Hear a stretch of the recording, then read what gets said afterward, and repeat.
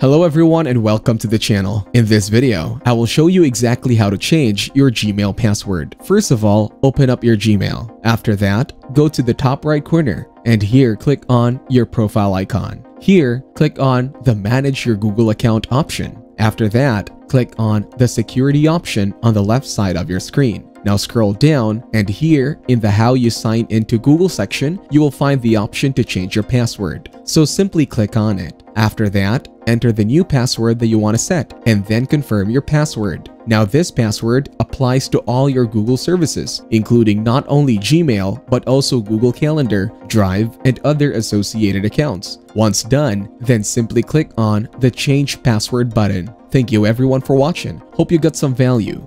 Make sure to like and subscribe to our channel, leave a comment down below, and I'll see you in the next one.